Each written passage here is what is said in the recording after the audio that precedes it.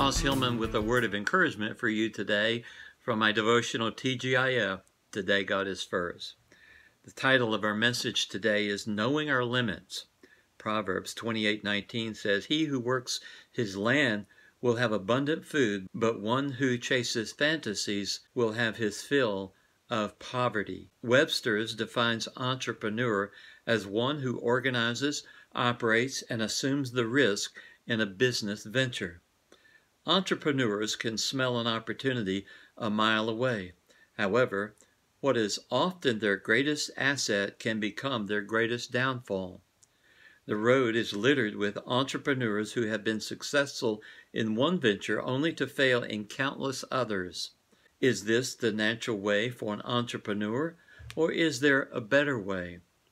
King David was an entrepreneur. He grew up as a shepherd boy and later became Israel's greatest warrior. He responded to opportunities like the time when no one would fight Goliath. He saw this as an opportunity he ultimately became king of Israel and faced many opportunities placed before him. David learned an important lesson somewhere along the way that each of us as workplace believers should learn. As an entrepreneur, the greatest danger is engaging ourselves in activities in which God never intended us to be involved. This is poor stewardship of what God has entrusted to us. When the Philistines attacked David, he always inquired of God as to if and when he was to counterattack. When he was attacked a second time on one occasion, David inquired of God as to whether he was to attack yet.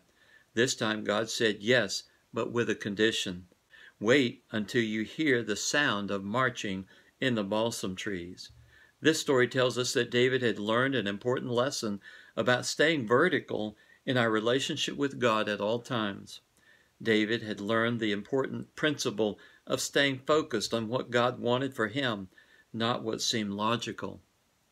He was an opportunist, but only through the filter of the Holy Spirit in his life. How do you approach opportunities? Do you consider the merits of the opportunity only? Or do you inquire of God as to whether He desires you to pursue? It may be a wonderful opportunity, but it may not be God's will for you to be involved. Ask the Holy Spirit to direct you as you seek to use the skills He has given you. I often tell entrepreneurs to be aware of the difference between good and God. There are plenty of opportunities out there, and as entrepreneurs, we can jump at things at a moment's notice.